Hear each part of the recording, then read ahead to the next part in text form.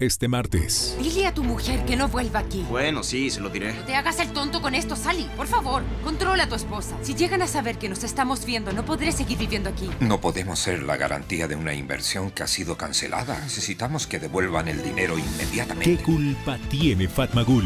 De lunes a viernes 19.40. Esta empresa está regulada y fiscalizada por la ATT.